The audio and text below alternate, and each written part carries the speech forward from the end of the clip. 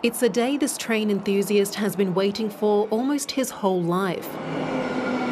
It's, yeah, extremely excited since obviously we've, we've been around with the same types of trains for the whole time that we've that I've been an enthusiast since I was born.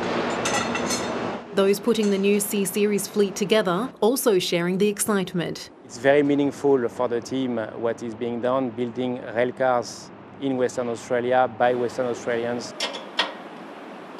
You get to see um, a train that's out that you see every day, everyone sees every day, and you're proud of that.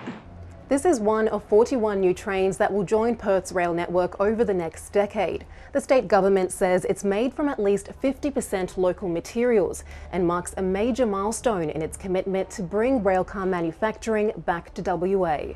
Despite concerns over Metronet's cost blowouts and delays, looks nice and spacious inside. The government insists this $1.3 billion investment will have a lasting impact on the state's local manufacturing capability. I think having the capacity to train Western Australians and also make rail cars here in WA again will help train young people into the future. However, some economists aren't so sure. The government has a very checkered history in the past of um, choosing what industries are going to be successful and what aren't. And going on past track record, there's a very high chance it will be paying an awful lot of money for something that we could have actually got cheaper somewhere else. Professor Dockery would prefer to see the government prioritise sectors like health and education.